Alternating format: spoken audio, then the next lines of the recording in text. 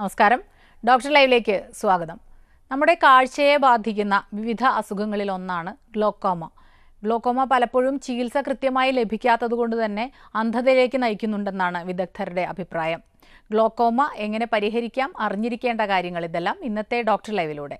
നിങ്ങളോട് സംസാരിക്കുന്നത് Angamaly little flower ആശുപത്രിയിലെ ഒഫ്താൽമോളജിസ്റ്റും ഗ്ലോക്കോമ വിഭാഗം മേധാവിയുമായ ഡോക്ടർ കെ ഗിരിജ. നമസ്കാരം ഡോക്ടർ. ഡോക്ടർ ഈ ഗ്ലോക്കോമയെ കുറിച്ചിട്ട് കാര്യം ഇങ്ങനെ കേൾക്കും എങ്കിലും അത്ര ഗൗരവത്തോടെ എടുക്കാത്ത ഒരു അസുഖമാണിത് എന്നാൽ പിന്നീട് കാഴ്ചശക്തിയെ തന്നെ തകരാറിലാക്കുന്നു. എന്താണ് ഈ അസുഖം എന്നൊന്ന് പറയാം. ഈ അസുഖത്തിൽ പൊതുവെ കണ്ണിലെ പ്രഷറിൽ ഉണ്ടാകുന്ന വേരിയേഷൻസ് അത് ചിലപ്പോൾ അത് കൂടുതലാവാം ചില സമയങ്ങളിൽ പ്രഷർ നോർമലാവാം. അതിൽ കണ്ണിന്റെ കാഴ്ചയുടെ നെർവായ ഓപ്റ്റിക് നെർവ് അതായത് ബ്രെയിനിൽ നിന്നും കണ്ണിലേക്ക് വരുന്ന കാഴ്ചയുടെ നെർവായ ഓപ്റ്റിക് നെർവിന് ഡാമേജ് ഉണ്ടാകുന്ന ഒരു അവസ്ഥയാണിത്. ഇതിൽ ചില സമയങ്ങളിൽ പ്രഷർ കൂടുതലായിരിക്കാം എന്ന് ഞാൻ പറഞ്ഞു. അതിൽ പല തരത്തിലുള്ള ഗ്ലോക്കോമകളുണ്ട് അതായത് പ്രഷർ കൂടുതലായിട്ട് വരുന്ന ഗ്ലോക്കോമയുണ്ട് അതല്ലാതെ തന്നെ നോർമൽ ടെൻഷൻ ഗ്ലോക്കോമ അല്ലെങ്കിൽ നോർമൽ പ്രഷറിൽ തന്നെ ഈ നെർവിന് ഡാമേജ് സംഭവിക്കാം. അപ്പോൾ പ്രഷർ കൂടി വരുന്ന തരം ഗ്ലോക്കോമയിൽ തന്നെ രോഗലക്ഷണങ്ങൾ ഉള്ള തരം ഒരു ഗ്ലോക്കോമയുണ്ട്. അതായത് ആംഗിൾ ക്ലോഷർ ഗ്ലോക്കോമ എന്നാണ് ഞങ്ങൾ അതിനെ പറയുന്നത്. അതിൽ ചിലപ്പോൾ രോഗിക്ക് അതികഠിനമായ വേദനയും കണ്ണിന് ചുമപ്പും അതുപോലെ വെള്ളം വരവും പെട്ടെന്ന് കാഴ്ച കുറയുകയും അങ്ങനെയുള്ള വളരെ അക്യൂട്ടായിട്ടുള്ള സിംറ്റംസ് പേഷ്യന്റ് വരികയും ചിലപ്പോൾ ഛർദിലും വയറുവേദന അങ്ങനെയൊക്കെയുള്ള അക്യൂട്ടായിട്ടുള്ള സിംറ്റംസ് ആയിരിക്കും ചിലപ്പോൾ പേഷ്യന്റ് വരിക. അങ്ങനെയാകുമ്പോൾ ഡെഫിനറ്റായിട്ട് പേഷ്യന്റ് ഹോസ്പിറ്റലിൽ പോവുകയും മെഡിക്കൽ എയ്ഡ് സീക്ക് ചെയ്യുകയും ചെയ്യും. പക്ഷേ ആ ആ സമയത്തും പലപ്പോഴും സംഭവിക്കുന്നത് എന്താണെന്ന് വെച്ചാൽ ഈ ഛർദിലും ഇതുമൊക്കെ കാരണം പലപ്പോഴും മറ്റു ഡിപ്പാർട്ട്മെന്റ് ഡിപ്പാർട്ട്മെന്റിന്റെ അടിയിലായിരിക്കും ഇവർ അഡ്മിറ്റഡ് ആവുക. കണ്ണിന്റെ പ്രശ്നമാണെന്ന് ചിലപ്പോൾ പെട്ടെന്ന് തിരിച്ചറിയില്ല. കാരണം അവർ മറ്റേ ഇതിനായിരിക്കും സിംറ്റംസിനായിരിക്കും കൂടുതൽ ഊന്നൽ കൊടുക്കുക. അപ്പോഴും ചിലപ്പോൾ വളരെ വൈകി ഞങ്ങളുടെ അടുത്ത് എത്തുകയും ചിലപ്പോൾ കാഴ്ച വളരെ നമുക്ക് തിരിച്ച് എടുക്കാൻ സാധിക്കാത്ത വിധത്തിലാവുകയും ചെയ്യും. അപ്പോൾ ഇങ്ങനെയുള്ള സിംറ്റംസ് വന്നാലും നിങ്ങൾ കണ്ണിന്റേതാണോ എന്നുള്ളതും കൂടി ഒരു സംശയം കഴിയുന്നതും മറ്റു ഡോക്ടർമാരും കൂടി അതിൽ ശ്രദ്ധിക്കേണ്ടതാണ്. അത് സിംറ്റംസ് ഉള്ള ഒരു ടൈപ്പ് ഗ്ലോക്കോമ അതല്ല ഓപ്പൺ ആംഗിൾ എന്ന് പറയുന്ന ഗ്ലോക്കോമയിൽ പൊതുവേ സിംറ്റംസ് ഒന്നും ഉണ്ടാവില്ല. രോഗി അതിനെപ്പറ്റി സാധാരണ അറിയാറില്ല. അതേസമയം കാഴ്ച ഇങ്ങനെ കുറഞ്ഞുകൊണ്ടിരിക്കും. കാഴ്ച എന്ന് പറഞ്ഞാൽ നടുക്കുള്ള കാഴ്ച. അതായത് നമ്മൾ സാധാരണ ഒരു നേത്ര അല്ലെങ്കിൽ വിഷൻ ടെസ്റ്റ് ചെയ്യുമ്പോൾ സാധാരണ കാഴ്ച അളക്കുമ്പോൾ സിക്സ് ബൈ സിക്സ് അതാണ് നോർമൽ എന്നുള്ളത് എനിക്ക് തോന്നുന്നു. ഒരുവിധം എല്ലാവർക്കും അറിയാം. സിക്സ് ബൈ സിക്സ് ഉണ്ടോ എന്ന് പലരും പലപ്പോഴും നമ്മളോട് തന്നെ പേഷ്യൻസ് വന്ന് ചോദിക്കാറുണ്ട്. അപ്പോൾ ആ സിക്സ് ബൈ സിക്സ് പലപ്പോഴും ഉണ്ടായിരിക്കും ഇതിന്റെ അവസാന ഘട്ടത്തിൽ പോലും. പക്ഷേ ചുരുങ്ങി വരുന്നത് പേഷ്യന്റ് കാണുന്ന ഫീൽഡ് ഓഫ് വിഷൻ എന്ന് പറയും. അതായത് രണ്ട് കണ്ണും നമ്മളിങ്ങനെ ഒരു വസ്തുവിലേക്ക് നോക്കുകയാണെങ്കിൽ നമുക്കതിന് ചുറ്റുമുള്ള ഒരു പരിധി കൂടെ നമുക്ക് കാണാൻ സാധിക്കും. അതാണ് നമ്മുടെ ഫീൽഡ് ഓഫ് വിഷൻ ആ ഫീൽഡ് ഓഫ് വിഷൻ ചുരുങ്ങി ചുരുങ്ങി വരികയും പേഷ്യന്റ് ഒടുവിൽ അത് ഒരു ട്യൂബിൽ കൂടെ നോക്കുന്ന ഒരു അവസ്ഥയിൽ എത്തിച്ചേരുകയും ചെയ്യുകയാണ് ഉണ്ടാവുക ഓക്കെ ശരിക്കും പറഞ്ഞാൽ ഈ ലക്ഷണങ്ങൾ അറിഞ്ഞിരിക്കേണ്ടത് അത്യാവശ്യമാണ് അങ്ങനെ വരുമ്പോൾ അല്ലേ? ഡോക്ടർ ഇപ്പോൾ ഈ ഫീൽഡ് ഓഫ് വിഷൻ എന്ന് പറയുമ്പോൾ ഇപ്പോൾ ഡ്രൈവിങ്ങിലൊക്കെ ഇത് വളരെ ഇമ്പോർട്ടന്റ് ആണല്ലോ. അപ്പോൾ എങ്ങനെ നമുക്ക് തിരിച്ചറിയാൻ പറ്റുക എന്തോ പ്രശ്നം ഉണ്ടെന്ന് എന്തെങ്കിലും ഒരു സിഗ്നൽ കിട്ടും യാതൊരു സിംറ്റംസും ഉണ്ടാവില്ല പേഷ്യന്റ് ഒരിക്കലും അറിയാറില്ല. പലപ്പോഴും ഉണ്ടാവുന്ന എന്താണെന്ന് വെച്ചാൽ സൈഡിൽ കാഴ്ച കുറഞ്ഞു കുറഞ്ഞു വരും. അത് ശ്രദ്ധിക്കില്ല. വണ്ടി ഓടിക്കുന്നവരൊക്കെ ആണെങ്കിൽ പലപ്പോഴും ആക്സിഡൻസ് ഉണ്ടാവുകയോ തട്ടി വീഴുകയോ ഒക്കെ ചെയ്ത് കഴിയുമ്പോഴായിരിക്കും. മിക്കവാറും അപ്പോഴായിരിക്കും ഒന്ന് ചെക്ക് ചെയ്യണം എന്നുള്ള ഒരു അപ്പോഴും കാഴ്ചക്കുറവാണ് എന്നുള്ള തെറ്റിദ്ധാരണയിലാണ് വരിക. അപ്പോഴായിരിക്കും നമ്മളിത് കണ്ടുപിടിക്കുന്നത്. ഡോക്ടർ ഇത് ഏതെങ്കിലും പ്രത്യേക വിഭാഗക്കാരിലാണോ ഇത് വരിക? ആർക്കാണ് ഇത്തരം അസുഖങ്ങൾ കൂടുതൽ വരിക? അങ്ങനെ ഒരു പ്രത്യേക വിഭാഗം എന്ന് പറയാൻ പറ്റില്ല. പൊതുവേ സാധാരണയായിട്ട് ഒരു നാൽപ്പത് വയസ്സിന് മുകളിലുള്ളവർക്കാണ് ഇത് കാണാറ്. പക്ഷേ ഇപ്പോൾ നമ്മളത് കുറച്ചും കൂടി യങ്ങർ ഏജ് ഗ്രൂപ്പിൽ കൂടെ നമ്മളത് കണ്ടുപിടിക്കുന്നുണ്ട്. അതായത് അത് ഈ പ്രായമുള്ളവർക്ക് കാണുന്ന തരം ഗ്ലോക്കോമ അതല്ലാതെ തന്നെ കുട്ടികൾ കാണുന്ന ഗ്ലോക്കോമ അതൊരു പ്രത്യേക വിഭാഗമാണ്. അതിനെപ്പറ്റിയല്ല ഞാൻ പറഞ്ഞത്. ഇത് പ്രൈമറി ഗ്ലോക്കോമ എന്ന് പറഞ്ഞ് സാധാരണ പ്രായമുള്ളവരിൽ കാണുന്നത്. അത് തന്നെ ഒരു പ്രത്യേക വിഭാഗത്തിലല്ല കാണുന്നത്. പക്ഷേ ഇതിൽ ഒരാൾക്ക് ഫാമിലിയിൽ ഒരാൾക്ക് ഇത് ഡയഗ്നോസ് ചെയ്ത് കഴിഞ്ഞാൽ അത് മറ്റുള്ളവർക്ക് അതേ ഫാമിലിയിൽ റിലേറ്റഡ് ആയിട്ടുള്ളവർക്ക് പ്രത്യേകിച്ചും സഹോദരങ്ങൾക്ക് അല്ലെങ്കിൽ മക്കൾക്ക് ഒക്കെ ഇത് ഉണ്ടാവാനുള്ളൊരു റിസ്ക് വളരെ കൂടുതലാണ്. അതുകൊണ്ട് തന്നെ അവരെല്ലാവരും ഒരു ചെക്കപ്പ് ചെയ്യുന്നത് എപ്പോഴും അത് പ്രത്യേകിച്ചും ഗ്ലോക്കോമയ്ക്ക് അല്ലെങ്കിൽ ഇങ്ങനെ ഒരു ഫാമിലി ഹിസ്റ്ററി ഉണ്ട് എന്ന് പറഞ്ഞ് തന്നെ ഒരു ചെക്കപ്പ് ചെയ്യണം എന്നുള്ളതാണ്. ഓക്കെ. അപ്പോൾ ഡോക്ടർ ഈ സ്ക്രീനിങ് എങ്ങനെയൊക്കെയാണ് അത് ചെയ്യുന്നത്? സ്ക്രീനിംഗ് എന്ന് പറയുമ്പോൾ സാധാരണ എല്ലാ ഒരുവിധം അത്യാവശ്യം സൗകര്യമുള്ള എല്ലാ ക്ലിനിക്കുകളിലും ഇതിന്റേതായിട്ടുള്ള എക്യുപ്മെൻസും അതിനുള്ള ടെസ്റ്റിനുള്ള ഫെസിലിറ്റിയും ഒക്കെ ഉണ്ടാവും. കണ്ണിന്റെ പ്രഷർ നോക്കും. അതിന്റെ കൂടെ തന്നെ നമ്മുടെ ഒരു ഡോക്ടർ ചെക്ക് ചെയ്യുമ്പോൾ ഞങ്ങൾ അതിന്റെ റെറ്റിന പരിശോധിക്കുന്ന സമയത്ത് നമുക്ക് ഒപ്റ്റിക് ഡിസ്കിൽ ചില ചേഞ്ചസ് കാണാൻ സാധിക്കും ഈ ഗ്ലോക്കോമയുടേതായിട്ടുള്ള. അങ്ങനെയുള്ളവരെ ഞങ്ങൾ ഒരു സസ്പിഷന്റെ ഒരു ബേസിസിൽ ഈ ഫീൽഡ് ടെസ്റ്റിന് വിടുകയാണ് ചെയ്യുന്നത്. അപ്പോൾ ഫീൽഡ് എടുക്കുമ്പോൾ അതിൽ ഗ്ലോക്കോമയുടേതായിട്ടുള്ള സ്പെസിഫിക് ആയിട്ടുള്ള ഡിഫക്ട്സ് ഉണ്ട്. അത് കാണുകയാണെങ്കിൽ നമ്മളത് കൂടുതൽ ശ്രദ്ധിക്കുകയും ഞരമ്പ് കൂടുതൽ ടെസ്റ്റ് ചെയ്യുകയും വേണമെങ്കിൽ ചികിത്സ സ്റ്റാർട്ട് ചെയ്യുകയാണ് ചെയ്യുന്നത്. പ്രഷർ കൂടുതലാണെങ്കിൽ ഡെഫിനറ്റായിട്ടും ഈ ഒപ്റ്റിക് ഡിസ്കിൽ ചേഞ്ചസ് ഉണ്ടെങ്കിൽ ട്രീറ്റ്മെന്റ് എന്തായാലും വേണ്ടി വരും. ഓക്കെ. പക്ഷെ ചില ആൾക്കാർക്ക് പ്രഷർ കൂടുക എന്നുള്ള മാത്രമുള്ള ഒരു അവസ്ഥയുണ്ട് അതായത് ഓക്കുലർ ഹൈപ്പർ ടെൻഷൻ എന്നാണ് ഇതിന് പറയുന്നത്. അതിൽ ഡിസ്കിൽ അല്ലെങ്കിൽ നെർവിലുള്ള ഡാമേജ് ഉണ്ടാവില്ല. അവർക്ക് വെറും പ്രഷർ കൂടിയിരിക്കുന്ന ഒരു അവസ്ഥ മാത്രമാണ്. അങ്ങനെ വരുമ്പോൾ നമുക്ക് ചികിത്സിക്കണോ വേണ്ടയോ എന്നുള്ളത് ഞങ്ങൾ ആ കേസ് ഓരോ കേസിനനുസരിച്ച് തീരുമാനിക്കുകയാണ് ചെയ്യാറ്. ഓക്കെ പക്ഷേ ഇപ്പോൾ ഡോക്ടർ പറഞ്ഞല്ലോ ലക്ഷണങ്ങൾ ഉണ്ടാവില്ല ചിലപ്പോൾ പ്രഷർ കൂടണം എന്ന് നിർബന്ധമില്ല. അപ്പോൾ സാധാരണഗതിയിൽ ബി പി കൂടുതലുള്ളവരെ ഇതും കൂടി ചെക്ക് ചെയ്തേക്കാം. അപ്പോൾ അല്ലാത്തവരും ഇത്തരം ടെസ്റ്റുകൾക്കൊക്കെ വിധേയരാകുന്നത് നല്ലതാണ് അല്ലേ അതെ ഇതിൽ മറ്റൊരു പ്രധാന കാര്യമുള്ള പ്രഷർ എന്ന് പറയുന്നുണ്ടെങ്കിലും ഇതും ബ്ലഡ് പ്രഷറുമായിട്ട് യാതൊരു ബന്ധവുമില്ല. പ്രഷർ കൂടുതൽ ബി പി കൂടുതലുള്ളവർക്ക് കണ്ണിലെ പ്രഷർ കൂടണമെന്നോ അങ്ങനെ ഒരു ഇതില്ല. പലരും വന്നിങ്ങനെ പ്രഷർ കൂടുതൽ കണ്ണിലെ പ്രഷർ കൂടുതലാണല്ലോ എന്ന് നമ്മൾ പറയുമ്പോൾ പറയും അയ്യോ അത് ഞാൻ ബി പിയുടെ മരുന്ന് രണ്ട് ദിവസം കഴിച്ചില്ല. അതുകൊണ്ടായിരിക്കും എന്ന് പറയും. അപ്പോൾ ഏറ്റവും പ്രധാനം ഇത് രണ്ടും തമ്മിൽ ഒരു കണക്ഷൻ ഇല്ല എന്നുള്ളതാണ്. നമുക്കൊരു കോളിലേക്ക് പോകണം ഹലോ? ഹലോ? ഡോക്ടർ ലൈവാണ്. സംസാരിച്ചോളൂ ഡോക്ടറോട്. ഹലോ ഡോക്ടർ ഞാനേ എന്റെ കണ്ണിൽ ഇങ്ങനെ ഒരു കറുത്ത സാധനം അങ്ങോട്ടും ഇങ്ങോട്ടും നീങ്ങണ പോലെ തോന്നുന്നുണ്ട് ആ. അത് എത്ര നാളായി അങ്ങനെ ശ്രദ്ധിച്ചിട്ട്? അതിപ്പോ ഒരു മൂന്നാലഞ്ച് കൊല്ലായി. ആ. അത് ഒരേ പൊസിഷനിൽ അങ്ങോട്ടും ഇങ്ങോട്ടും നമ്മൾ കണ്ണനക്കുമ്പോൾ അതിനൊത്ത് നീങ്ങുന്നുണ്ട് അല്ലേ? അതെ അതെ അതെ. അതപ്പോ ഞാനൊരു ദിവസം ഇങ്ങനെ തട്ടി മറിഞ്ഞ് വീണു. പെട്ടെന്ന് കാഴ്ച പോയിട്ട് വീണ പോലെ വീണു. കാഴ്ച പോയ പോലെ അപ്പൊ തോന്നി. അപ്പോൾ ഇത് നിങ്ങൾക്ക് എത്ര പ്രായമുണ്ട്? ഫിഫ്റ്റി ടു ആ, വീഴ്ചയ്ക്ക് ശേഷമാണോ ഇത് ശ്രദ്ധിച്ചത്? അതോ അതിനു മുമ്പ് തന്നെ ഇത് ഉണ്ടായിരുന്നോ? ഷോർട്ട് സൈറ്റ് ഉണ്ട് എനിക്ക്. ഞാൻ കോണ്ടാക്ട് ലെൻസ് വെക്കുന്ന ആളാണ്. ഒരു കണ്ണിലേ ഉള്ളൂ. ഒരു കണ്ണിനേ ഉള്ളൂ. ലെഫ്റ്റ് സൈഡ് ഭയങ്കര കുറവാണ്. കാഴ്ച. മൈനസ് ട്വൽവ് ഒക്കെ ഉണ്ട്. ആ കണ്ണിലാണോ ഇപ്പൊ ഈ കറുത്ത പൊട്ട് പോലെ കാണുന്നത്? അതെ അതെ അതെ. അതങ്ങനെ നീങ്ങിക്കൊണ്ടിരിക്കുക ഇത് സാധാരണ ഹൈമയോപ്സ് അതായത് ഈ ഷോർട്ട് സൈറ്റിന്റെ പവർ കൂടിയ ആൾക്കാർക്ക് പൊതുവെ കാണാറുള്ള ഒരിതാണ് അവരുടെ റെറ്റിനയിലുള്ള ചില വ്യത്യാസങ്ങളാണ്. അവരുടെ റെറ്റിന സാധാരണ ആൾക്കാരുടെ റെറ്റിനയുമായിട്ട് വ്യത്യാസമുണ്ടാവും. അതിൽ കുറച്ചും കൂടെ ചേഞ്ചസ് കൂടുതലായിരിക്കും. അതായത് ഈ ഷോർട്ട് സൈറ്റിന്റേതായിട്ടുള്ള അപ്പോൾ അങ്ങനെയുള്ളവർക്ക് ചെറിയ ഫ്ലോട്ടേഴ്സ് എന്നാണ് ഇതിന് നമ്മൾ പറയുന്നത്. അത് പക്ഷേ പ്രത്യേകിച്ച് ദോഷമുള്ള ഒരു കാര്യമല്ല. ഒരു സിംഗിൾ ഒരു ഫ്ലോട്ടർ അങ്ങനെ ഒരു ഒറ്റ ഇത് മാത്രം കാണുകയാണെങ്കിൽ അത് ദോഷമുള്ളതല്ല. അതേസമയം അതിന്റെ നമ്പർ പെട്ടെന്ന് കൂടുകയോ അതിനൊ ഒപ്പം തന്നെ ഫ്ലാഷസ് പോലെ മിന്നൽ പോലെയോ അങ്ങനെ എന്തെങ്കിലും കാണുകയാണെങ്കിൽ നിങ്ങൾ ഉടനെ തന്നെ ഡോക്ടറെ കാണേണ്ടതാണ്.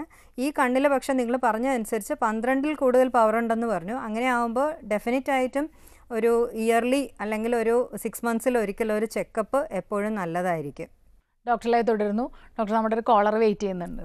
ഹലോ ഹലോ ഓ ഡോക്ടർ ആ ചോദിച്ചോളൂ. ആ, ഹലോ ഹലോ ഡോക്ടറെ ഞാനൊരു പത്ത് പതിനഞ്ച് വർഷമായി. എനിക്ക് രാവിലെ എണീക്കുമ്പോഴത്തേക്ക് കണ്ണിനകത്ത് ഔട്ട് ഓഫ് ഫോക്കസ് ആയിരുന്നു. പറഞ്ഞോളൂ. ഹലോ ആ ഔട്ട് ഓഫ് ഫോക്കസ് ആയിരുന്നു. അങ്ങനെ ഞാൻ കൊണ്ട് ട്രീറ്റ് ചെയ്തായിരുന്നു. ആ. ട്രീറ്റ് ചെയ്ത് ഇപ്പം ആദ്യം പറഞ്ഞ ആദ്യം കാണിച്ച ഡോക്ടർ പറഞ്ഞത് കണ്ണിനകത്ത് വെള്ളം കെട്ടി നിൽക്കുന്നു എന്നാണ് പറഞ്ഞിരുന്നത്. അത് പറഞ്ഞു അങ്ങനെ അവർ ട്രീറ്റ്മെന്റ് ഒക്കെ ചെയ്തു. അത് കഴിഞ്ഞിട്ടും ഒന്നും കുറവില്ലായിരുന്നു. ഒരു അന്നേരം അവരൊരു ഒരു വർഷത്തേക്ക് ഒഴിക്കാനുള്ള ഒരു മരുന്ന് തന്നായിരുന്നു അന്ന്. ഒരു പത്ത് പതിനഞ്ച് വർഷമായത്. ആയത് എന്നിട്ടും ഔട്ട് ഫോക്കസ് മാറിയില്ല. അത് കഴിഞ്ഞ് ഞാൻ പിന്നെ ബാംഗ്ലൂർ ആയിരുന്നു ബാംഗ്ലൂർ ഞാൻ അവിടെ ഒരു ഹോസ്പിറ്റലിൽ കാണിച്ചു. അവിടെയും അവർ പറഞ്ഞത് അതിനൊരു മരുന്നില്ലെന്നാണ് പറഞ്ഞത്. അത് കഴിഞ്ഞ് ഞാൻ പിന്നെ ഇവിടെ മധുരയിൽ പോയായിരുന്നു. ഇപ്പൊ എന്താണ് അവസ്ഥ എന്നൊന്ന് പറയോ? അവസ്ഥ എന്ന് വെച്ച് കഴിഞ്ഞാൽ രാവിലെ എണീക്കുമ്പോഴത്തേക്ക് ഫുൾ ഔട്ട് ഓഫ് ഫോക്കസ് ആണ്. നമ്മൾ കണ്ണാടി വെച്ചാൽ എത്ര സമയം നിൽക്കും ഇങ്ങനെ? അതിങ്ങനെ ഒരു രണ്ട് മൂന്ന് മണിക്കൂർ നിൽക്കും ആ. അത് കഴിയുമ്പോ ക്ലിയർ ആവും. അത് കഴിയുമ്പോ കുറേശ്ശെ ഇങ്ങനെ ക്ലിയർ ആവും. ആ. ഇപ്പോഴും അങ്ങനെ തന്നെ. അങ്ങനെ ഞാൻ മധുരയിൽ പോയി അരവിന്ദ ഹോസ്പിറ്റലിൽ കാണിച്ചായിരുന്നു. ആ അവിടെ എന്തെങ്കിലും അവിടെയും അവിടെയും അവർ ഒരു വർഷത്തേക്ക് എനിക്ക് മെഡിസിൻ തന്നു. മെഡിസിൻ തന്നിട്ട് ഒഴിക്കാൻ പറഞ്ഞു. ഒഴിച്ചു. അതിനുശേഷം അവർ പറഞ്ഞു ഇനി മെഡിസിൻ ഒഴിക്കണ്ട എന്ന് പറഞ്ഞു. ഇത് നമുക്ക് ഒരു ചെക്കപ്പ് ചെയ്യാതെ പറയാൻ ബുദ്ധിമുട്ടാണ്. കാരണം നിങ്ങൾക്ക് എത്ര പ്രായമുണ്ട്? ഡോക്ടർ ഇത്തരം പ്രശ്നങ്ങൾ എന്തുകൊണ്ട് വരുന്നതാണ് എന്നൊന്ന് പറയാൻ പറ്റുമോ രാവിലെ ആവുമ്പോൾ ഔട്ട് ഓഫ് ഫോക്കസ് എന്ന് പറയുന്നത് സാധാരണയായിട്ട് ഈ വെള്ളെഴുത്ത് തുടങ്ങുന്ന സമയത്ത് അതായത് വെള്ളെഴുത്ത് എന്ന് പറഞ്ഞാൽ ഒരു നാൽപ്പത് മുപ്പത്തെട്ട് നാൽപ്പത് വയസ്സുള്ളവർക്ക് അടുത്ത് കാണാനുള്ള ഒരു ബുദ്ധിമുട്ട്. ചെറിയ അക്ഷരങ്ങൾ വായിക്കാനായിട്ട് അവർക്ക് ഒരു ബുദ്ധിമുട്ട് വരുന്നത്. അപ്പോൾ അത് തുടങ്ങുന്ന സമയത്ത് പൊതുവേ അത് രാവിലെയാണ് അത് കൂടുതലായിട്ട് കാണുക. അപ്പോൾ ആ സമയത്ത് ഇതുപോലെ നമ്മൾ എന്ത് നോക്കിയാൽ അടുത്തുള്ള വസ്തുക്കൾ നോക്കുമ്പോൾ നമുക്കൊരു ബ്ലറിങ് വല്ലാതെ തോന്നും. അങ്ങനെയാണ് പലപ്പോഴും ആൾക്കാർ പത്രം എടുത്ത് നോക്കുമ്പോൾ ക്ലിയർ ആയിരിക്കില്ല. അപ്പോൾ അത് ഈ ഒരു കാരണം കൊണ്ടുള്ളതാണെങ്കിൽ അത് നമ്മൾ കണ്ണട വെച്ചാൽ അത് കറക്റ്റ് ചെയ്യാവുന്നേ ഉള്ളൂ. അത് അല്ലാതെ ഈ പറഞ്ഞ രോഗി പറഞ്ഞത് എന്താണ് എന്ന് എനിക്ക് മനസ്സിലായില്ല. അത് ശരിക്കും നമുക്ക് നോക്കി കഴിഞ്ഞിട്ടേ പറയാൻ പറ്റുള്ളൂ. ഡോക്ടർ മറ്റൊരു കാര്യം ഈ കണ്ണിന് ഗ്ലൂക്കോമ തന്നെ ഒരു കണ്ണിന് കുറേശ്ശെ കാഴ്ച പോകുന്നു എന്ന് പറഞ്ഞാലും പലപ്പോഴും പല പേഷ്യൻസും കൃത്യം അതിനെ അത്ര ഗൗരവത്തിൽ എടുക്കാത്ത ഒരവസ്ഥയുണ്ട്. അപ്പോൾ ശരിക്കും പറഞ്ഞാൽ അങ്ങനെ ഡോക്ടർ പറഞ്ഞാൽ എന്തെല്ലാം കാര്യങ്ങളാണ് ഇവർ ചെയ്യേണ്ടത്? നമ്മളൊരു ഗ്ലോക്കോമ ഡയഗ്നോസ് ചെയ്ത് കഴിഞ്ഞാൽ നമ്മൾ അവർക്കൊരു സാധാരണഗതിയിൽ തുടങ്ങുമ്പോൾ നമ്മൾ തുള്ളിമരുന്നുകൾ അതായത് ഐ ഡ്രോപ്സ് കൊടുക്കുകയും അത് റെഗുലറായിട്ട് ഇടാൻ പറയുകയാണ് ചെയ്യുന്നത്. അപ്പോൾ നമ്മൾ കൊടുക്കുന്ന മരുന്നുകൾ അതിൽ സാധാരണ രണ്ട് നേരം ഒഴിക്കുന്ന മരുന്നുകൾ ഉണ്ടാവും ചിലത് രാത്രി മാത്രം ഒഴിക്കാനുള്ളതുണ്ടാവും അപ്പോൾ ആ പറയുന്ന മരുന്നുകൾ കറക്റ്റായിട്ട് ആ ഒരു ടൈം സാധാരണ ഞങ്ങളൊരു ടൈം കൂടെ പറയാറുണ്ട്. അപ്പോൾ ആ ടൈമും കൂടി ഒന്ന് കീപ്പ് ചെയ്ത് കഴിയുന്നതും ഒഴിക്കുക. കാരണം ആ അത്രയും അതിന്റെ ആ മരുന്നിന്റെ ഒരു ഡ്യൂറേഷൻ ഓഫ് ആക്ഷൻ കൂടെ നോക്കിയിട്ടാണ് ഞങ്ങൾ ഈ ടൈം പറയുന്നത്. അതൊന്ന് ശ്രദ്ധിക്കേണ്ടതുണ്ട്. പിന്നെ ഒന്ന് മരുന്ന് ഒഴിക്കുന്ന സമയത്ത് രോഗി കഴിയുന്നതും ഒന്ന് കംഫർട്ടബിളായിട്ട് ഇരിക്കുകയോ കിടക്കുകയോ ചെയ്തിട്ട് ഈ മരുന്ന് ഒഴിക്കുക. പിന്നെ പലപ്പോഴും നമ്മളൊരു പങ്ക്ടൽ ഒക്ലൂഷൻ എന്ന് പറഞ്ഞൊരിത് പറയാറുണ്ട്. അതായത് കണ്ണിന്റെ കോണിൽ ഒന്ന് ഒരു വിരൽ കൊണ്ടൊന്ന് പ്രസ് ചെയ്യുക. മരുന്നൊഴിച്ചതിന് ശേഷം. കണ്ണ് ജസ്റ്റ് ഒന്ന് അടച്ചു വയ്ക്കുക ഒരു രണ്ട് മിനിറ്റ്. പിന്നെ കണ്ണിന്റെ കോണിലൊന്ന് ജസ്റ്റ് പ്രസ് ചെയ്ത് വയ്ക്കുക ഇതൊക്കെ മരുന്നിന്റെ ആക്ഷൻ പ്രൊലോങ് ചെയ്യാനായിട്ട് നമുക്കത് കറക്റ്റായിട്ടൊരു ആക്ഷൻ കിട്ടാൻ സഹായിക്കും. പിന്നെ ഒന്ന് പ്രായം ഞങ്ങൾ പൊതുവേ കാണുന്നത് ഒരു കുപ്പി മരുന്ന് വാങ്ങിക്കഴിഞ്ഞാൽ അത് ചിലപ്പോൾ ഒരു അഞ്ച് ദിവസം കൊണ്ട് തീർന്നു എന്ന് പറയും. അങ്ങനെ തീരില്ല. സാധാരണ ഈ മരുന്നുകളെല്ലാം ഒരു മാസം ലാസ്റ്റ് ചെയ്യും. ഇതെല്ലാം തന്നെ കുറച്ച് വില കൂടിയ മരുന്നുകളൊക്കെ ആയിരിക്കും. അപ്പോൾ കൂടുതൽ കൂടുതൽ വാങ്ങി ഒഴിക്കാൻ അവർക്ക് അതിന്റേതായ ബുദ്ധിമുട്ടുകൾ വരും. അപ്പോൾ കഴിയുന്നതും ശ്രദ്ധിച്ചൊഴിക്കുക കണ്ണിനുള്ളിൽ തന്നെ വീഴുന്നു എന്ന് ഉറപ്പ് വരുത്തുക പിന്നെ ഉള്ളത് ഞങ്ങൾ സാധാരണ ഫോളോ അപ്സ് പറയും. അതായത് മരുന്നൊഴിച്ചതിന് ശേഷം ആദ്യമാണെങ്കിൽ നമ്മളൊന്ന് അതിൽ കൺട്രോളായി എന്ന് ഉറപ്പ് വരുത്താനായിട്ടൊരു വിസിറ്റ് പറയും. അപ്പോൾ ആ വിസിറ്റ്സ് കഴിയുന്നതും റെഗുലറായി ചെയ്യുക. പിന്നെ ഞങ്ങൾ ടെസ്റ്റ് അതുപോലെ ഈ ഫീൽഡ് ടെസ്റ്റൊക്കെ തന്നെ പല റെഗുലറായിട്ടുള്ള ഇന്റർവെൽസിൽ റിപ്പീറ്റ് ചെയ്യാൻ പറയും. അപ്പോൾ അതും കഴിയുന്നതും ചെയ്യുക. പിന്നെ എപ്പോഴും ഈ ഫോളോ അപ്സ് റെഗുലറായി ചെയ്യുക ട്രീറ്റ്മെന്റ് ചെയ്യുക എന്നുള്ളത് വളരെ ഇമ്പോർട്ടന്റ് ആണ്. നിങ്ങളുടെ കാഴ്ചയെ തന്നെയാണ് അല്ലെങ്കിൽ നിങ്ങൾ അപകടപ്പെടുത്തുന്നത് എന്നുള്ളത് ഓർക്കുക. മറ്റൊരു കോളിലേക്ക് പോകാം ഡോക്ടർ. ഹലോ? ഹലോ? ഡോക്ടർ ലൈവാണ്? ആണ് ചോദിച്ചോളൂ. ആ കോൾ കട്ടായെന്ന് തോന്നുന്നു. ഡോക്ടർ ഡോക്ടർ ഇപ്പോൾ പറഞ്ഞല്ലേ ഈ കാഴ്ച മരുന്നുകൾ കൃത്യമായിട്ട് ഒഴിക്കുക. ഇപ്പോൾ ചില ആളുകളുണ്ട് ഒരു തുള്ളി മരുന്ന് കൊടുത്തു കഴിഞ്ഞാൽ കാലങ്ങളോളം അത് തന്നെ മെഡിക്കൽ ഷോപ്പിൽ പോയിട്ട് അപ്പോൾ അതൊക്കെ പ്രശ്നമാണ് അല്ലേ? കൃത്യമായിട്ട് ഡോക്ടറെ വെച്ചാൽ നമ്മൾ സാധാരണ ചെയ്യുന്നത് എന്താണെന്ന് വെച്ചാൽ ഒരു ഒരു മരുന്ന് കൊടുക്കുകയും അപ്പോൾ രോഗിയുടെ അവസ്ഥ എങ്ങനെയുണ്ട്? ആ ഒരു ഇതിന് സ്റ്റാർട്ട് ചെയ്യേണ്ട മരുന്ന് നമ്മൾ സ്റ്റാർട്ട് ചെയ്തിട്ട് പിന്നെ ഫോളോ അപ്സിൽ പേഷ്യന്റെ ഇതിൽ വരുന്ന വ്യത്യാസങ്ങൾ നോക്കി അസസ് ചെയ്ത് അതിനനുസരിച്ച് ഒന്നുകിൽ അഡീഷണൽ ആയിട്ടുള്ള മെഡിസിൻസ് കൊടുക്കും. അതല്ല എന്നുണ്ടെങ്കിൽ സർജറി ആവശ്യമാണെങ്കിൽ സർജറി അഡ്വൈസ് ചെയ്യും. അങ്ങനെയാണ് സാധാരണ ചെയ്യാറ്. അപ്പോൾ അത് ഈ റെഗുലർ ഫോളോ അപ്സ് ഇല്ലെങ്കിൽ അത് മിസ്സായി പോവും. പേഷ്യന്റ് ചിലപ്പോൾ ഇതേ മരുന്നിങ്ങനെ ഒഴിച്ചിട്ട് അങ്ങനെ വരുന്ന രോഗികളുണ്ട് ഞങ്ങളുടെ അടുത്ത്. അപ്പോൾ പറയുമ്പോൾ അത് വളരെ ലൈറ്റായിട്ട് എടുക്കുകയും അല്ലെങ്കിൽ പിന്നെ കാണാറുള്ള ഗൾഫിലുള്ള രോഗികൾ. പൊതുവേ അവർക്ക് അവിടെ മെഡിക്കൽ കെയർ കുറച്ച് ബുദ്ധിമുട്ടാണ്. വളരെ എക്സ്പെൻസീവാണ് മരുന്നുകളും വളരെ എക്സ്പെൻസീവാണ് അപ്പോൾ കഴിയുന്നതും ഞങ്ങൾ അങ്ങനെയുള്ളവർ ഗൾഫിലാണെന്ന് പറഞ്ഞാൽ ഞങ്ങൾ കഴിയുന്നതും കൂടുതൽ മരുന്ന് വാങ്ങിക്കൊണ്ട് പോകാൻ പറയാറുണ്ട്. എന്നുവെച്ചാൽ അവിടുത്തെ വില കൂടുതൽ കാരണം ഇവർ മരുന്ന് ഒഴിക്കാതിരിക്കരുതെന്ന്. വിചാരിച്ചിട്ട്. അപ്പോൾ അത് കഴിയുന്നതും നമ്മൾ ഫോളോ അപ്സ് റെഗുലറായിട്ട് ചെയ്യുക അവിടെയാണെങ്കിലും ഏതെങ്കിലും ഒരു ഇന്ത്യൻ ഡോക്ടറുള്ള ഒരു സ്ഥലത്ത് എങ്ങാനും പോയി ഫെസിലിറ്റീസ് അത്യാവശ്യം. അതായത് പ്രഷർ നോക്കാനുള്ള ഒരു സൗകര്യമുള്ള ഒരു സ്ഥലത്ത് പോയി ചെക്ക് ചെയ്യുക. മറ്റൊരു കോളിലേക്ക് പോകാം ഡോക്ടർ ഹലോ ഹലോ ഹലോ ചോദിച്ചോളൂ. ഹലോ പറഞ്ഞോളൂ. ഈ ഒരുപാട് നേരം പുസ്തകങ്ങൾ വായിക്കുമ്പോഴേ കണ്ണിന് നല്ല വേദനയാണ്. ആ. എത്ര പ്രായമുണ്ട്? ഇരുപത്തേഴ് വയസ്സ്. ആ. ഒരുപാട് നേരം കണ്ടിന്യൂസ് ആയിട്ട് എന്താ പഠിക്കുകയാണോ അതോ ഇല്ല അല്ലാതെ എന്തെങ്കിലുമൊക്കെ വായിക്കുകയും ടി. വി കാണുകയൊക്കെ ചെയ്യുമ്പം തലവേദന വരും പെട്ടെന്ന്. തലവേദന വരുന്നു. അങ്ങനെയുള്ളപ്പോൾ കഴിയുന്നത് ഒന്ന് പോയി ചെക്ക് ചെയ്യുന്നതാവും നല്ലത്. കാരണം പ്രായം കുറവുള്ളവർക്കായാലും നമുക്ക് ഈ കാഴ്ചക്കുറവിന്റേതായിട്ടുള്ള ചില അടുത്തുള്ള കാഴ്ചയ്ക്കുള്ള ബുദ്ധിമുട്ടുകൾ ചില ചെറിയ പവേഴ്സ് ചിലപ്പോൾ വേണ്ടി വരും. അപ്പോൾ ടെസ്റ്റ് ചെയ്ത് കഴിഞ്ഞാൽ മാത്രമേ നമുക്കിത് വേണോ വേണ്ടയോ എന്നുള്ളത് അറിയാൻ പറ്റൂ. പിന്നെയുള്ളത് കണ്ണിന്റെ മസിൽസിന് അതായത് വായിക്കുന്ന സമയത്ത് നമ്മുടെ കണ്ണിലെ ചില മസിൽസ് കൂടുതലായി ആക്ട് ചെയ്ത് അങ്ങനെയാണ് നമുക്ക് അടുത്തുള്ള വസ്തുക്കൾ ക്ലിയറായി കാണാൻ പറ്റുന്നത്. അപ്പോൾ അത് ചിലപ്പോൾ അങ്ങനെയുള്ള മസിൽസ് ചിലപ്പോൾ ചെറുതായിട്ട് വീക്കായിരിക്കും അപ്പോൾ അതിന് ചില എക്സസൈസ് ചിലപ്പോൾ നമുക്ക് ചെയ്യേണ്ടതായിട്ട് വരും. അപ്പോൾ ഇതൊക്കെ ടെസ്റ്റിങ്ങിൽ കൂടെ മാത്രമേ നമുക്ക് അറിയാൻ പറ്റുള്ളൂ. ഡോക്ടർ ഇപ്പോൾ ഈ ഗ്ലോക്കോമ എന്ന് പറഞ്ഞ അസുഖം തുടക്കത്തിൽ കാര്യമായിട്ട് എടുക്കുന്നില്ല എന്ന് പറഞ്ഞുകൊണ്ട് ചോദിക്കുക ഈ അസുഖത്തിന്റെ ഒരു കോംപ്ലിക്കേഷൻ എന്താണ്? ഇപ്പോൾ ഡോക്ടറുടെ അടുത്ത് വരുന്ന രോഗികളിൽ കണ്ടുവരുന്ന പ്രശ്നങ്ങൾ. പൊതുവേ നമ്മുടെ ഇതിൽ വരുമ്പോൾ ഒന്ന് ഇത് കാര്യമായിട്ട് എടുക്കാതെ വരുമ്പോൾ കാഴ്ച നഷ്ടപ്പെടുന്ന ഒരു അസുഖമാണ്. അന്ധതയാണ് ഇതിന്റെ എൻഡ് റിസൾട്ട് അപ്പോൾ അത് നമ്മൾ ശ്രദ്ധിക്കാതെ പോകുമ്പോൾ പലപ്പോഴും ഒരു ഒരു കണ്ണിലെ കാഴ്ച പൂർണമായിട്ട് നഷ്ടപ്പെട്ട് അപ്പോഴായിരിക്കും അവർ പെട്ടെന്ന് റിയലൈസ് ചെയ്യുന്നത് ഇത് ഇങ്ങനെ ഉണ്ടായി എന്നുള്ളത്. അപ്പോൾ ശരിക്കും അടുത്തിടയ്ക്ക് എന്റെ അടുത്തൊരു രോഗി വന്നു. അയാൾ ശരിക്കും ആ പേഷ്യന്റെ കുറ്റമാണെന്ന് നമുക്ക് പറയാൻ പറ്റില്ല. പേഷ്യന്റ് പലപ്പോഴായിട്ട് ഒരു പല ആവശ്യങ്ങൾക്ക് അതായത് കണ്ണാടിക്കും ഒക്കെ ആയിട്ട് പല ഡോക്ടേഴ്സിന്റെ അടുത്ത് പോയിട്ടുണ്ട്. പക്ഷേ ഈ രോഗം ഡയഗ്നോസ് ചെയ്യപ്പെട്ടില്ല. രോഗിക്ക് ഒരു സൈഡിലെ കാഴ്ച പൂർണമായിട്ടും നഷ്ടപ്പെട്ടു. അയാൾക്ക് ജോലി ചെയ്യാൻ കഴിയാതായ ഒരു അവസ്ഥയിലാണിത്. കൂടുതലായിട്ട് അയാൾ അത് പോയി പറഞ്ഞപ്പോഴാണ് ഒരു ഡോക്ടർ ഇത് ഡയഗ്നോസ് ചെയ്തത്. അപ്പോൾ ഇപ്പോൾ വളരെ പരിതാപകരമായ അവസ്ഥയിലാണ് പേഷ്യന്റെ കാര്യം. അപ്പോൾ അവർക്ക് ജോലി ചെയ്യാനോ ഒന്നിനും ഒരു കണ്ണിലെ കാഴ്ച പൂർണമായും നഷ്ടപ്പെട്ടു. മറ്റേതിലേത് ഈ ഞാൻ പറഞ്ഞ പോലെ ഒരു ട്യൂബിൽ കൂടെ കാണുന്ന പോലെ വളരെ നേരിയ ഒരു കാഴ്ച മാത്രമേ ഉള്ളൂ. അത് വെച്ചിട്ട് അയാൾക്ക് നടന്ന് എന്റെ റൂമിലേക്ക് കയറി വരുമ്പോൾ തന്നെ അങ്ങോട്ടും ഇങ്ങോട്ടും തട്ടിപ്പോകുന്ന ഒരവസ്ഥയാണ് കാരണം വാതിലിലും ഒക്കെ ഇടിക്കാതെ അയാൾക്ക് ഒരു പരസഹായമില്ലാതെ നടക്കാൻ കഴിയുന്നില്ല. അപ്പോൾ ഇത് ഞങ്ങളുടെ ക്ലിനിക്കിലേക്ക് വന്നു കഴിഞ്ഞാൽ നമുക്ക് പല രോഗികൾ ഈ ഒരു അവസ്ഥയിൽ എത്തിയിട്ടാണ് നമ്മുടെ അടുത്ത് വരുന്നത്. അപ്പോൾ അത് ഒരിക്കലും ഉണ്ടാവാതിരിക്കണമെന്നുണ്ടെങ്കിൽ നിങ്ങൾ കഴിയുന്നതും കണ്ണാടി എടുക്കുമ്പോൾ ഒരു കണ്ണടക്കടയിൽ പോയി ചെക്ക് ചെയ്യുക അത് ഒരു ഡോക്ടറുള്ള ഒരു സ്ഥലത്ത് പോയി ചെക്ക് ചെയ്യുക. അപ്പോൾ ചെറിയ ചെറിയ അസുഖങ്ങളാണെങ്കിലും നമുക്ക് കണ്ടുപിടിക്കാൻ സാധിക്കും ഗ്ലോക്കോമ എന്നല്ല മറ്റ് അസുഖങ്ങളായാലും കണ്ടുപിടിക്കാൻ കഴിയും. അടുത്തൊരു കോളിലേക്ക് പോകാം doctor. Hello? Hello?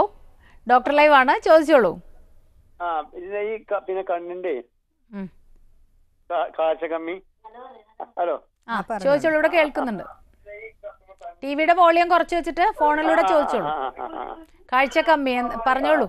കണ്ണിന്റെ കാഴ്ച കമ്മിക്ക് പിന്നെ എന്താണ് മരുന്ന് കാര്യമായിട്ട് എന്തെങ്കിലും ഉണ്ടോ? നരമ്പിന്റെ മിസ്റ്റേക്ക് ആണെന്ന് ഡോക്ടർമാര് ഡോക്ടർമാർ പറയുന്നത് ആ കാഴ്ച തീരെ കുറവാണോ? ആ ഇപ്പോ അമ്പത്തി ഒമ്പത് വയസ്സായിക്കണ്. അതെ കാഴ്ച തീരെ കുറവാണോ? ഒട്ടും ഒട്ടുമില്ല പറ്റ കുറവാണ്. പറ്റ- കുറവാണ് കുറവാണെന്ന് വെച്ചാൽ ഏകദേശം സൈഡൊക്കെ വളരെ കമ്മിയാണ്. അപ്പോൾ അത് കാണിച്ചപ്പോൾ എന്ത് അസുഖമാണെന്ന് പറഞ്ഞ് കണ്ണിലൊഴിക്കാൻ മരുന്ന് തന്നോ? അതോ ലേസറോ അങ്ങനെയുള്ള ചികിത്സകൾ വല്ലതും ചെയ്യുമായിരുന്നോ? ഈ കാഴ്ച കമ്മിയാണെന്ന് പറഞ്ഞ് മരുന്ന് ഒഴിക്കാനായിട്ട് തന്നിട്ടുണ്ടോ? മരുന്നൊന്നും അതായത് നരമ്പിന്റെ തകരാറാണ് പറയുന്നത് അതെ ഞരമ്പിന്റെ തകരാറിന് മരുന്ന് എന്തെങ്കിലും തന്നിരുന്നോ? മരുന്നൊന്നുമില്ല ഒന്നുമില്ല. ഒന്നൊരു വിറ്റാമിൻസ് കുടിക്കാനേ പറ്റുള്ളൂ. കാരണം അത് ഒരു പാരമ്പര്യമായിട്ടുള്ള ഒരു രാത്രി കാഴ്ച കുറവാണോ? ആ രാത്രി പകലും കമ്മിയാണ്. രാത്രിയാണ് സാധാരണ കാര്യമായിട്ട്. കിട്ടാത്തത്. ഇത് കഴി എനിക്ക് തോന്നുന്നത് റെറ്റിനൈറ്റിസ് പിഗ്മെന്റോസ എന്ന് പറഞ്ഞ ഒരു റെറ്റിനയെ ബാധിക്കുന്ന മറ്റൊരു രോഗമാണിത്. ഇതെന്ന് തോന്നുന്നു.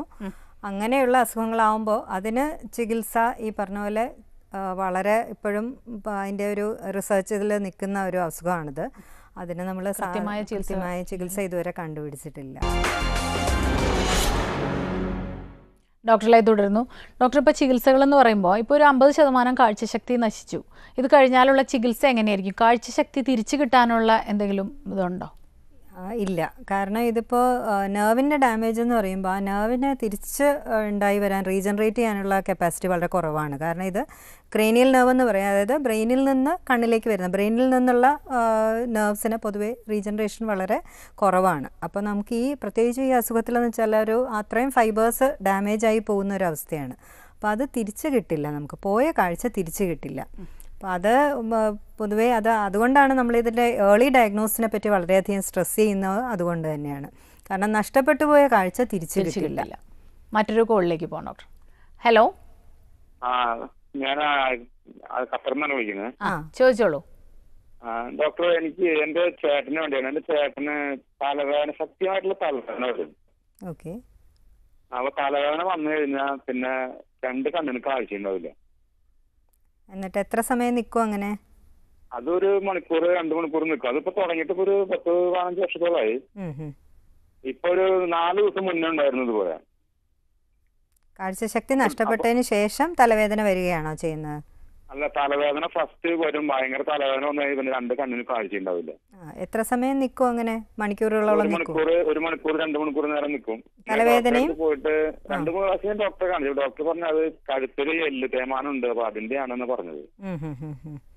ഇത് പല കാരണങ്ങൾ കൊണ്ടുണ്ടാവാം. അതായത് കണ്ണിലേക്കുള്ള രക്തയോട്ടം അഫക്റ്റഡ് ആയതുകൊണ്ട് ഇങ്ങനെ വരാം. പക്ഷെ കൂടുതലും മൈഗ്രെയിനിന്റെ ഒരു ഇതായിട്ടാണ് തോന്നുന്നത്.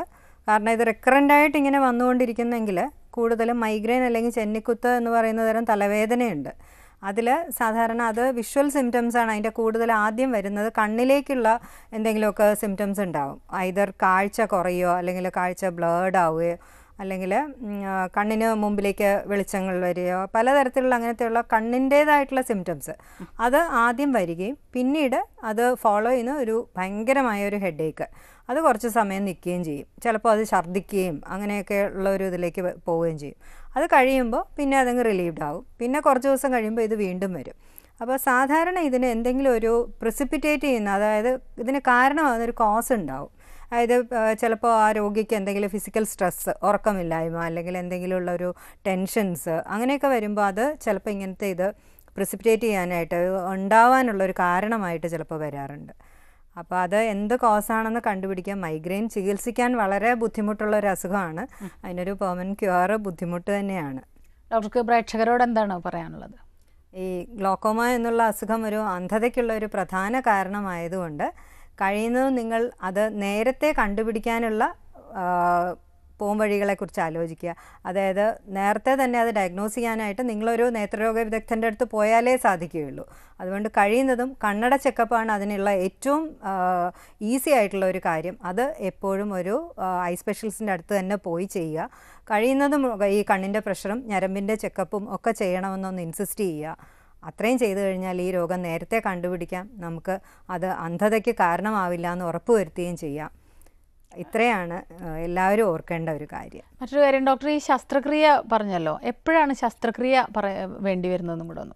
ശസ്ത്രക്രിയ സാധാരണയായിട്ട് ഈ ആംഗിൾ ക്ലോഷർ ഗ്ലോക്കോമ എന്ന് പറയുന്നതിലാണ് കൂടുതലായും നമുക്ക് ഈ ഒന്ന് ലേസർ ട്രീറ്റ്മെന്റ് ഉണ്ട് അതിന്. ആദ്യം നമ്മളൊരു ലേസർ ട്രീറ്റ്മെന്റ് ആണ് സാധാരണ ചെയ്യുക. അതായത് കണ്ണിലേക്ക് ഒരു ലൈറ്റ് അടിച്ച് ഒരു പ്രകാശരശ്മി പതിപ്പിച്ച് ഒരു ചെറിയൊരു ഹോൾ ഉണ്ടാക്കുന്ന തരം ചികിത്സ. അതല്ലെങ്കിൽ അതിൽ പ്രഷർ കൺട്രോൾഡ് ആയില്ലെങ്കിൽ നമ്മൾ മരുന്നുകൾ കൊടുക്കും. മരുന്നിൽ കൺട്രോൾ ആയില്ലെങ്കിൽ സാധാരണ സർജറിയിലേക്ക് പോകും. അത് ചിലപ്പോൾ പിന്നെ ഈ ഫീൽഡ് ഒട്ടും നമ്മൾ മരുന്നിൽ നിൽക്കുന്നില്ല ഫീൽഡ് പെട്ടെന്ന് പെട്ടെന്ന് പ്രോഗ്രസ് ചെയ്യുന്ന തരം പേഷ്യൻസ് ഉണ്ട്. അവർക്ക് നമ്മൾ കുറച്ചുകൂടെ നേരത്തെ ചിലപ്പോൾ സർജറി പറയും. ഡോക്ടർ നമ്മുടെ ഇന്നത്തെ ഡോക്ടർ ലൈവ് ഇവിടെ അവസാനിക്കുകയാണ്. വളരെയധികം നന്ദി ഞങ്ങളോട് സഹകരിച്ചതിന്. ഇന്നത്തെ ഡോക്ടർ ലൈവ് ഇവിടെ അവസാനിക്കുന്നു. നമസ്കാരം.